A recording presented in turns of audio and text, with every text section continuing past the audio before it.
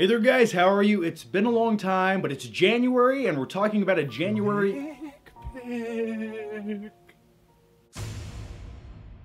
Ah! What are you doing here, Chris? I live here. No, you live under my bed. You're a demon spirit. That's true. That, or I actually moved five minutes down the road from you. That's what happened, guys. I actually. Oh. I, It's terrifying.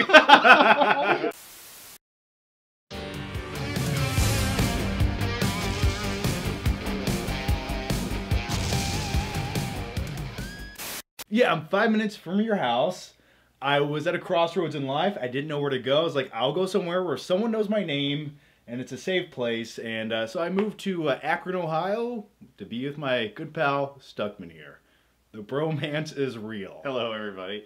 Uh, you could have either moved to Cheers, where everyone knows your name, Exactly. or here, where a couple people. a couple, two people. But my hometown is only three hours that way, so Yeah. it all worked out. Plus, Yeah. it's it's very cold and miserable, but we're making videos, and this is this is gonna be fun, man. I'm Yeah. looking forward to it. more opportunities to do stuff together, Yeah. collaborations. We'll do more stuff. So we'll do more videos on my channel. Uh, obviously, some stuff here too. So Oh, yeah, so look out for it. It's January, the most horrific time of the year for films where they go to die. And was Insidious The Last Key any good? Well, we'll talk about it. So, John, what was Insidious: The Last Key all about? Well, it was more or less the same thing we've seen three other times, except this time Lin Shaye is the star of the movie. It's a origins prequel movie focusing on why she is like she is. She's a parapsychologist, I believe. Okay. and uh, scary stuff happens. All right, so Chris, uh, this reminded me of something. This is January. It's a horror film. The last horror film we talked about last January was one of the worst movies of the year, The Bye Bye Man. Or one of the best, whichever way you want to look at it. I'm just gonna go with the worst. Oh, I mean, it definitely is, but it was amazing. and, and the question I have when I went into this film, it is January. It is a horror film. Does it belong in January? And my quick summary, not to leave you guys in suspense, is it does. It, it does. I, I was not a fan of this movie. Now I love the first Insidious. I really like the second Insidious. The third one was instantly forgettable. And I feel like the trend with this franchise is they progressively get worse and worse with each installment. Yeah, um, for me, I'm about eh, three and four similar vibes to me. I feel like they're interchangeable. That's Okay. just me, though. I mean, I didn't hate this movie. Uh, I think it's a lot better than most January horror releases. Uh, when I went into this movie, I was honestly like, I was like clenching, like I was just Yeah. ready to be completely violated by this movie, and I left mostly satisfied with the character work they did with Lin Shaye. The backstory prologue I liked. There were certain things that happened towards the end where they try to tie it into things that didn't really work for me. I think this movie's biggest problem is, and I've noticed this since the second Insidious film, the lack of James Wan. He's what tied these movies together and really gave them substance and really held them to a higher standard. And without him, I've noticed the last two films are the worst of the franchise easily. He's definitely amazing. Like when it comes to like understanding creepy visuals and, and things that are just unsettling. Now let's talk about Lin Shaye, who's the main star of this film. Lin Shaye is a uh, very old lady. She is. And the scariest thing when I think about Lin Shaye isn't anything to do with the Insidious franchise. Have you ever seen the movie Kingpin? Yeah. I don't remember remember it very well. Do you remember this? yeah, they should have just put that scene throughout this film, just looping it over and over for an hour and 43 minutes. Um, because this movie is not as terrifying or suspenseful as I wanted it to be. And Sure. it's not hard to make a scary movie. It's really not.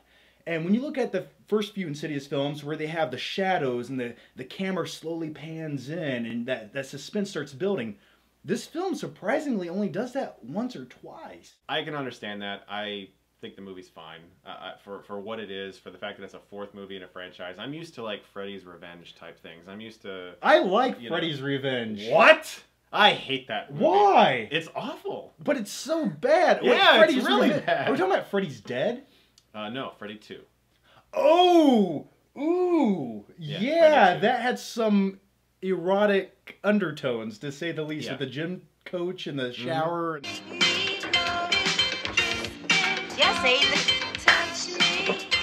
Are you like a little bit impressed by the fact that a Hollywood movie released in 2018 a big franchise is entirely led by a 74 year old woman. it listen, it is impressive. It is kind of cool. Lin Shaye did everything in her power Yeah. to hold this movie together, She is really good. but she could not make up for the poor script and writing of this movie. There are some scenes where she's trying to deliver these lines, and they're so terribly written, you cringe at Mm-hmm. Oh, them. I agree. And I couldn't believe like this movie got made. And speaking of cringe, speaking of cringe, I think you might know where I'm going with this. Talking about the the the, the humor. The humor yeah. by the uh, her sidekicks, Specs, and whatever, Whatever. the other the creepy, Horrible.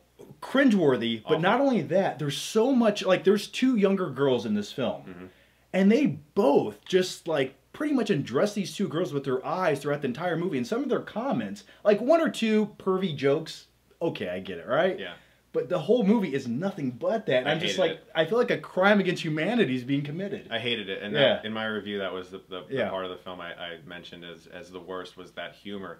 And those characters have been throughout the whole franchise, and even in the first one, they were like, eh, I don't know if they're humor. Yeah. They've just they've kept trying every single time, and this might be the worst in regards to the humor. Uh, there's a kissing scene at the end I mentioned in my review where he Yeah. just he just kisses her all of a sudden, and I was like, what? It's awkward and against the law. I think these, these, these are like high school girls, and they're, these are like 35 year old dudes. What's going It on was here? very strange, and I remember, and the girls are always just like laughing, like, oh, "This I- is so cute," and I'm like, oh. No, I don't think so. A little predatory there, guys. You might want to back off. It's the scariest thing about this film Yeah. because it's so realistic. Definitely the worst part of the movie. Actually, you know what, Chris? I think there's something else worse about this film. For me, I would say this is probably one of the worst paced films I've seen in a very long time, or at least in a theater. Hmm. This movie starts and goes, stops, loses its way, stays on the same thing too long, reiterates itself, saying the same thing over and over,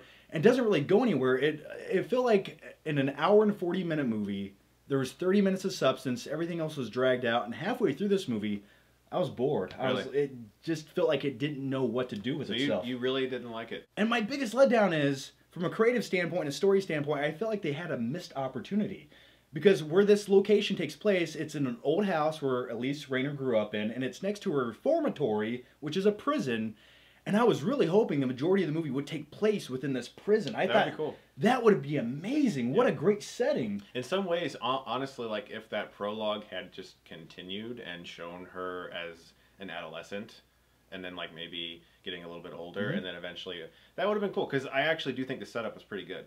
Like a teenage Elise Rainier. Just Yeah. show that origin story. Sure. We don't need the modern day part of it. That could have been a little better. Yeah. I think we just wrote a better movie right there. Like It's easy when you see it, you know. It- yeah, it when you got a blank page and you're trying to create something. But let me ask you this. yeah. You like films. Sure. You directed a short film. I did. What's the name of it? Auditorium Six. Check it out. Listen, if if you read the script for this film, could you not have easily said, "Why don't we not do this?" Yes. yeah. I mean, look, I go to, I went to this movie and I left thinking, okay, all right. I'm, I'm never probably gonna. I might watch it again in ten years or something. I, I, Um, I could never. That's the question I always ask myself when I'm watching movies. I say, could I watch this again? And in this movie, I could never watch it again. It was a chore to watch the first time. Uh, but you know what? I'm gonna give Insidious: The Last Key. Ugh, I'm gonna give it a D plus. can you can you blow up the D plus? that would take too much work. All right, guys, that's my take on Insidious: The Last Key. For me, it belongs in January, where it is. Uh, but yeah, definitely look out for more videos with me and Chris Stuckmann here. I'm looking forward to it, man. My creative juices are flowing. Good. They have been dead, down in a pit for a long time, but now I'm climbing up to the well like Bruce Wayne to go back to save Gotham City. Good. Thank you. All right. So, as always, guys, make sure you check out Chris's channel. I'll put the link down below. And uh, make sure you subscribe. That way, I can see you guys next time.